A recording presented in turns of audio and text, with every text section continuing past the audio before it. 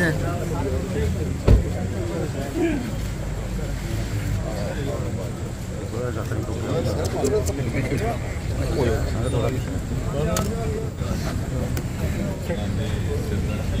England. That's just one. No, sir. Lawa, get your water. Get your water. ठीक है sir. ठीक है sir. सामने सामने आ जाओ सामने आ सर।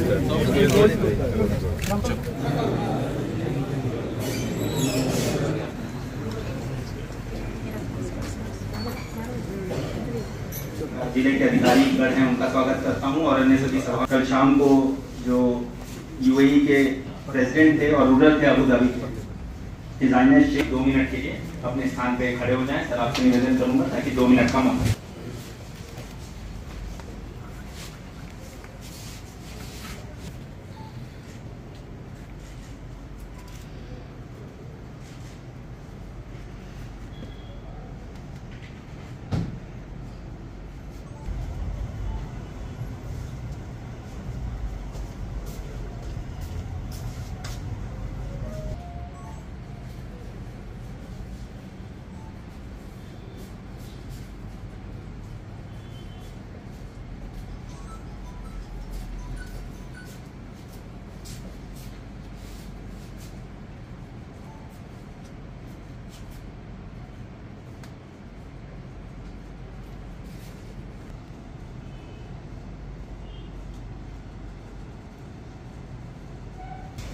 पूरी कॉन्स्टिट्यूएंसी के जितने पीएमजीएसवाई के काम थे, उनका उद्घाटन प्रस्तावित था।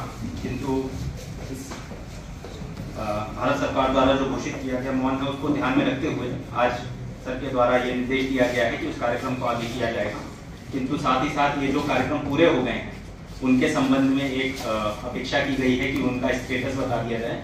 तो मैं चीफ इंजीनियर साहब से निवेदन करूँगा कि जो आज कंप्लीट काम हुए हैं, उनके बारे में।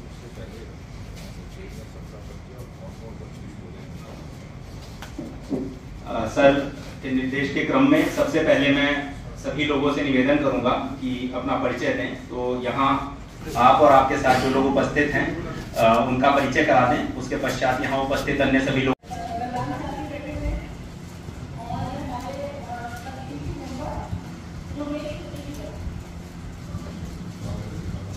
डिस्ट्रिक्ट रामबन। सर और रियासी रियासी से अ, हमारे जितने भी अ, अ, केंद्रीय विकास के संस्थानी स्कीम है सर वो हमारे साथ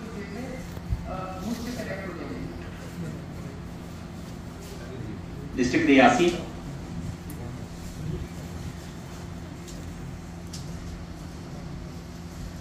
हैं।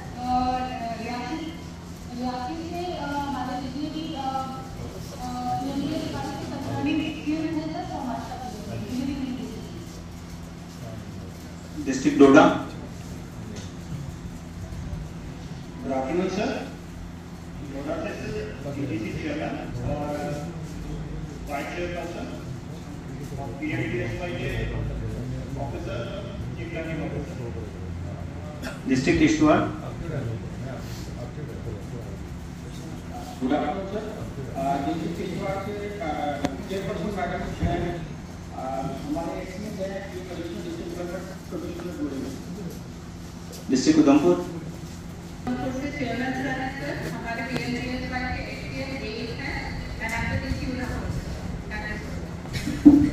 आपकी अनुमति से यहाँ पे सभी उपस्थित लोगों का प्रोजेक्ट राजस्थान, हरियाणा, गुजरात में चालू कर दिया है। मेरे विभाग के साथ जुड़ा हुआ है। अब मैंने उनसे कल कहा कि हम इसको कठुआ में ले आते हैं। तो आप संपर्क कर लीजिए। जिस दिन बायोटेक्नोलॉजी पार्क का लोकार्पण होगा, वो अधिकारी यहाँ आए होंगे सी एस आई आर के। और उनका जो ट्रिपल है, वो आपके लिए कोऑर्डिनेट करेंगे। तो हम क्योंकि वो कंडी का जो स्पेसिफिक इशू है उसको भी हम उस तरह से एड्रेस करेंगे। बाकी एक आपका काम रह रहा था हाईवे विलेज का। क्योंकि डीसी साहब की भी जानकारी आ जाए हिंदुस्तान के पहले जो दो हाईवे विलेज है सबसे पहला कठुआ में आया था, दूसरा आया उधमपुर में। उधमपुर का काम लगभग पूरा हो गया। कठुआ वाला रुक गया था और उसका कारण यह है, वो भी हमने समझना है। क्योंकि कोई उठ कर कह देगा, साहब साहब का बड़ा महत्वपूर्ण रोल रहा है। और सबसे पहले अभी इस बीच में हमें भी नहीं थी कि कठुआ में चाहे छठी कॉन्स्टिट्यूंसी बनेगी या नहीं लेकिन डॉक्टर साहब के प्रयासों से एक नई काम बीच में ये भी सवाल आया बीच में जब कॉन्स्टिट्यूंसी का नाम कठुआ नार से रखा गया और लोग थे उनका एक भावनाएँ आई कि इसका नाम जो स्लोटा कॉन्स्टिट्यूंसी रखना चाहिए इसी द्वारा बनाए जा रहे हैं। अ, मैं इस डॉक्टर साहब के माध्यम से माननीय प्रधानमंत्री जी का भी धन्यवाद करता हूँ और डॉक्टर साहब जो हमेशा अपने स्टेट के लिए और खासकर जो हमारी कॉन्स्टिट्यूंसी है, इसके लिए हर समय डेवलपमेंट के लिए जो है वो प्रतिबद्ध हैं और उसके फलस्वरूप जो इतना बड़ा सौगात जो है आज उधमपुर। मैं डॉक्टर साहब का खासकर धन्यवाद करना चाहूँगा। कि जो एक पिछले दो साल से प्रक्रिया चल रही थी।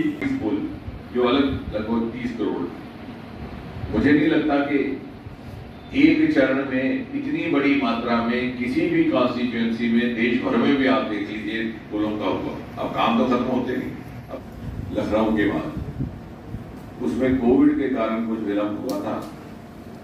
मोटे तौर पर यह निर्णय हुआ है कि उनतीस, अट्ठाईस तारीख को उसका विधिवत लोकार्पण कर दिया जाएगा।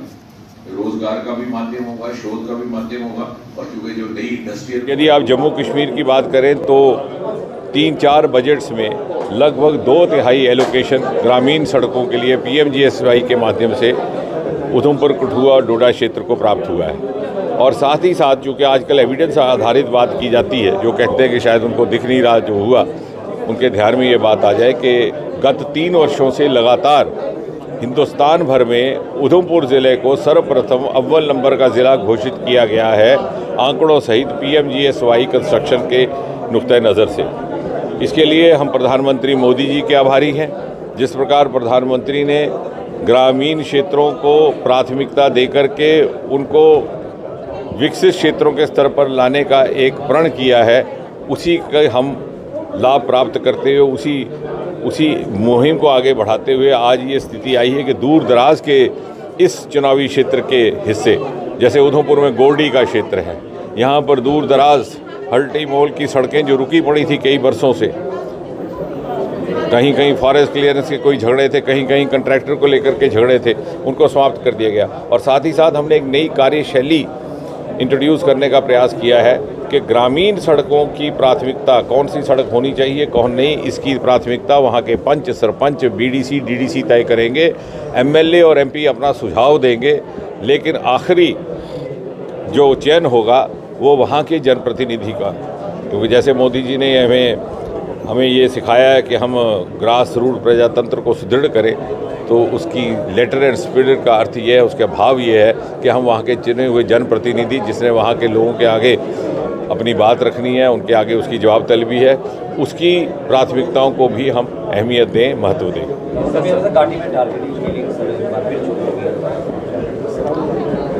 अब देखिए जो राहुल भट्ट का की जो हत्या हुई है उसकी कोई सफ़ाई देना संभव नहीं कोई जस्टिफिकेशन नहीं। ना ही उसकी भरपाई हो सकती है। मुझे लगता है प्रशासन इसका संज्ञान लेगी।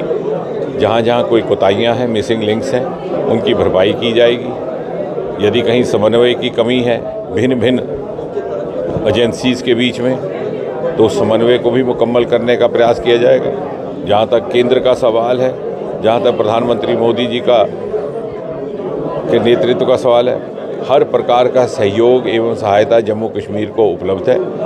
मत तो कुल मिलाकर के यदि आप देखें, क्योंकि हम कल भी श्रीनगर में थे इस इस बार, इस तरफ़, इस इस साल जिस प्रकार का टूरिस्ट सीज़न वहाँ पर देखने को मिला है, उससे ये ज़ाहिर होता है कि परिस्थितियाँ बहुत तेज़ी से सामान्य होती जा रही हैं। लेकिन जिन लोगों को, जिन तत्वों को सामान्य स्थिति के साथ लगता है कि उनकी चलती हुई राजनीति को खलल पड़ेगा, वो इस प्रकार की घटनाओं में प्रत्यक्ष अथवा अप्रत्यक्ष रूप से शामिल हो जाते हैं।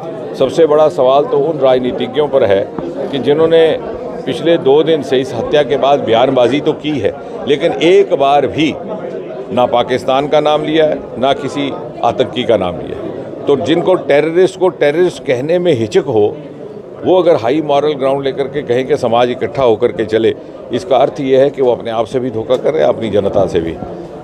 आतंक को आतंक कहना और उसके लिए निष्ठा और साहस रखना यही हमारे समाज की ताकत है। और मुझे विश्वास है कि ये कुल मिलाकर के आतंक का आखिरी अध्याय है जो जम्मू कश्मीर में देखने को मिल रहा है। मुझे लगता है कि हमें आश्वस्त रहना चाहिए जिस प्रकार से केंद्र सरकार और गृह मंत्रालय ने एलजी सरकार के साथ समन्वय बना करके व्यवस्थाएँ स्थापित करने का एक क्रम शुरू किया है। मुझे लगता है हम सब आश्वस्त रहे। कठुआ की धरती पर खड़े होकर मुझे ये भी कहते हुए गर्व महसूस होता है कि लखनपुर जो प्रवेश द्वार है, वहाँ पर हम एक विशेष प्रकार का डेस्टिनेशन स्थापित करने का भी एक योजना बना रहे हैं। वहाँ महाराजा गुलाब सिंह की मूर्ति तो स्थापित हो ही चुकी थी, ताकि जो यात्री आएँ, उन्हें जम्मू कश्मीर में प्रवेश करते ही एक अच्छा सुखद सा अनुभव महसूस हो।